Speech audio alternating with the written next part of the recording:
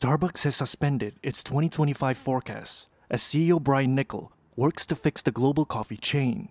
In preliminary results on Tuesday, it also posted another quarterly slump in sales, with fewer people buying its pricey drinks.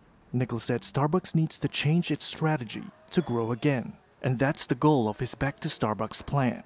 He also said the company will make the menu simpler and fix their prices.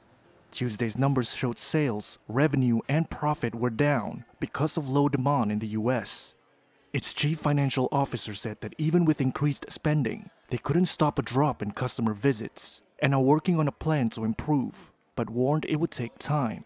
Starbucks boosted its quarterly dividend to 61 cents per share to reassure investors about its turnaround plan. As part of that plan, Niccol said they want to change marketing and focus on all customers, not just Starbucks rewards members.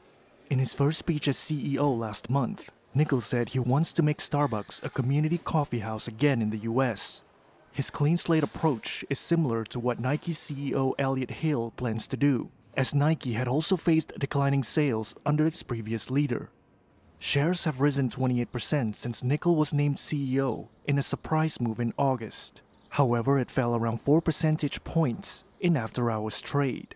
Starbucks plans to release its final quarterly earnings next week.